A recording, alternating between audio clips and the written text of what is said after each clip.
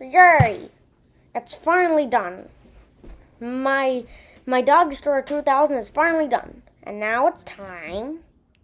Time for lunch? No. Time to defeat Dog Man.